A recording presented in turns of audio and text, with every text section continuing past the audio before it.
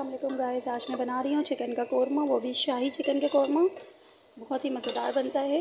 तो पाँच अदद प्याज मैंने फ्राई करने के लिए रख दी है जैसे ये बिल्कुल गोल्डन फ्राई हो जाएगी तो हम इसको करेंगे दही में ग्रैंड आधा किलो हमने दही ले ली है और साथ में जो हमने आधा किलो जो है वो चिकन ले लिया है, उसको वॉश करके रख दिया तो हम बना रहे हैं शाही देगी स्टाइल का कौरमा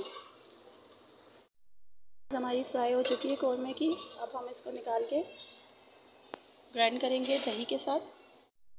फ्राइड चिकन हमने जो है अदरक लहसुन के पेस्ट में अच्छे से फ्राई कर लिए। अब हमने जो प्याज और दही का मसाला ग्राइंड किया था, वो इसमें ऐड करेंगे।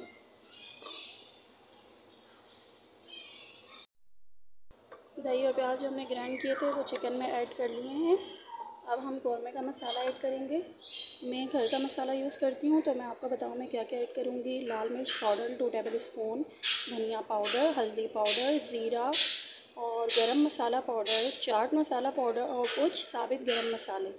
जैसे कि बड़ी इलायची, छोटी इलायची, दालचीनी और काली मिर्च, इसके अलावा लौंग, दो तीन दाने।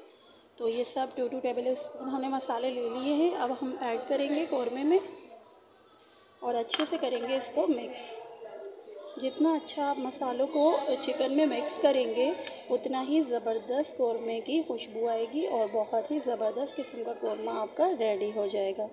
सो so गाइस अब तक अगर आपने मेरे चैनल को सब्सक्राइब नहीं किया है तो जल्दी से करें मेरे चैनल को सब्सक्राइब लाइक और मेरी वीडियोस पे कमेंट भी ज़रूर किया करें कि आपको मेरी वीडियो कैसी लगती है? सो गाइस अब हमने इसको अच्छे से मिक्स कर दिया है। अब इसको मीडियम फ्लेम पे ढक्कन देके हम पकने रख देंगे। उसके बाद जैसे ही चिकन हमारी गल जाएगी तो इसको हम अच्छे से भूनेंगे। तो गाइस देखिए मेरा कौरमा रेडी हो चुका है।